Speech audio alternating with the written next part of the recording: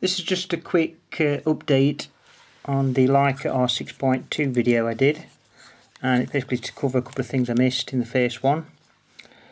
The first thing is the eye diopter adjustment button which is here just to the side of the eyepiece and the way you do that is you just get out of it, pull it and turn it uh, clockwise or anti-clockwise to adjust for different eyesight. Uh, it does actually spin without pulling it out, but it isn't actually just knit at that point. The other feature I forgot to mention is the viewfinder cover, which is activated by this little dial here. And the best way I found to operate it is just put your thumb on it and you turn it anti-clockwise. And you know the eyepiece cover is in uh, when you can see the little triangle and then also you can uncover it again like that. Uh, another couple of things I just want to show you, uh, because last time I had a film loaded, I uh, just wanted to fire the shutter so you could hear the sound of the shutter firing. That's at 1 2 fifths of a second and I found that the mirror is quite soft on the upswing but when it comes back down it makes a, a, a quite a, a loud clunk you can hear.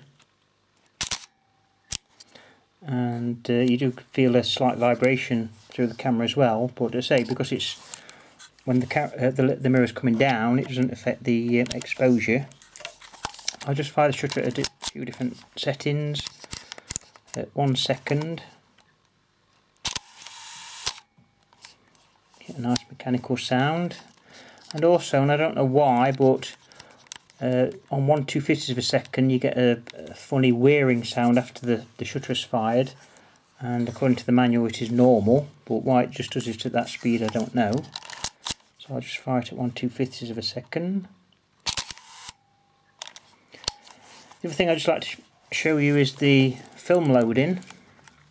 And uh, mentioned in the other video you just pull the rewind crank up fully to open the back and quite a few people don't like the film lo loading on this, think it's a bit strange. But uh, apparently the way Leica's done it is so you can actually load the film with one hand. So I'm going to try that now. And hopefully not completely fail for you. So what you do first instead of putting the cartridge in to that side you put it actually into this side first with the film leader. And what they say is you, you put the leader in so it covers two of the uh, little gaps there. And then once it's done that you just can pull it over drop it down. Push down the rewind crank, crank sorry. Uh, you can see I did that with one hand whereas normally where you're loading film it tends to take two hands to do it. So I can just slightly advance the film to make sure it's in the sprockets close the back. And then I can advance the film to the first shot. And it's ready to take a picture. And as you say as you know uh, you can check if the film's loaded correctly by watching the uh, rewind crank turn when you advance the film.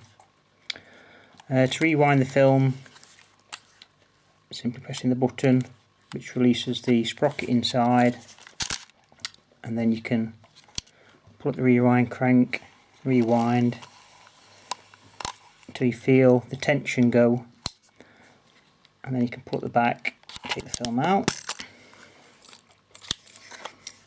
and there you go. And that's just a quick look inside the back as well to show you the uh, shutter curtain. So there you go, just a quick update on my Leica video, just covered a few points and uh, say I've run a film through it and I've not processed it yet but uh, hopefully I'll get some good results.